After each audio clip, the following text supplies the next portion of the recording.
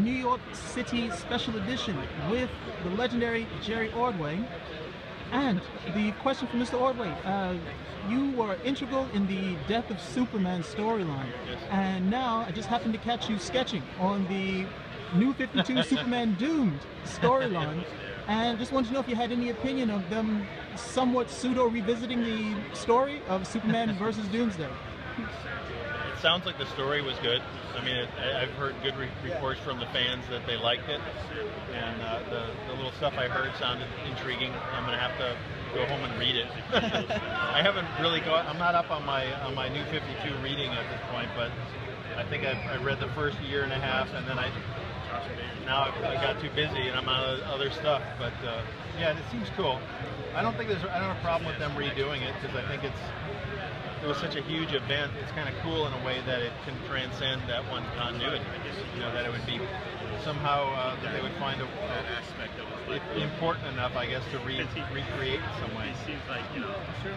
Well, the, the Doomsday character, as he was created for Death of Superman, was really supposed to be this one incredible physical challenge for Superman that he was going to pay the ultimate price in.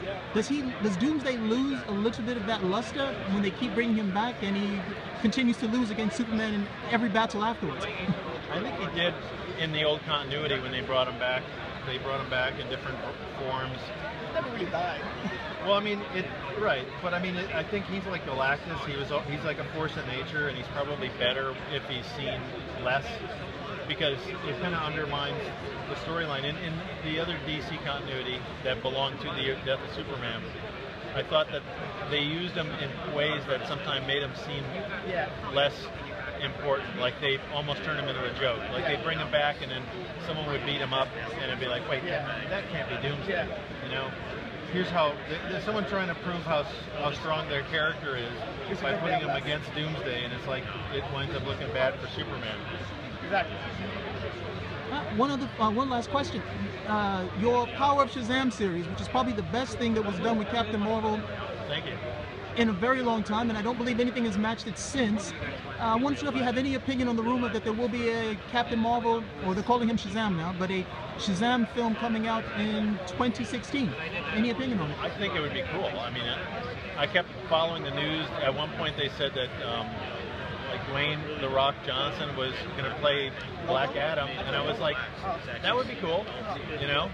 Um, and they had a director and everything, so I, I don't know what incarnation they'll use, but it's a really perfect type of.